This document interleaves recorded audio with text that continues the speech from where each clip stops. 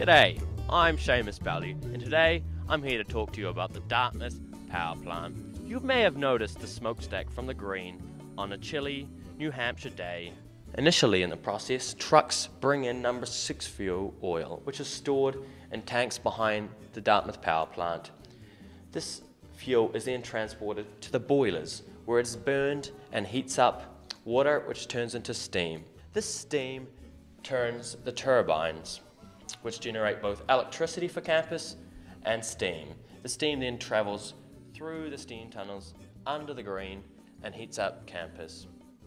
This cooled down steam, aka water, then is transported back into the boilers and the process repeats itself. Here we are in the control room where the dirty business gets done. At Dartmouth, we burn number 6 fuel oil. Lovely looking fuel right here. We burn approximately 17,034,353 litres a year, or 4.5 million gallons a year for all you Americans.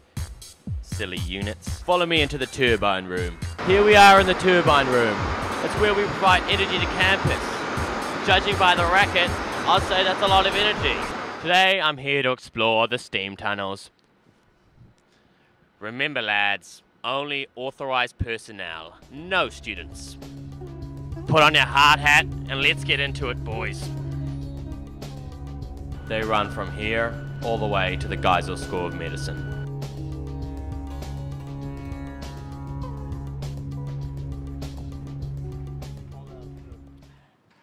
Well, made it. Just remember that as you're enjoying your warm, cozy room on one of those chilly New Hampshire days, where your fuel source comes from, number 6 fuel. At Dartmouth, we emit 80,000 metric tons of CO2 per year, making us the largest polluter per student in the Ivy League. I don't know about you, but I'd like to change that. Cheers.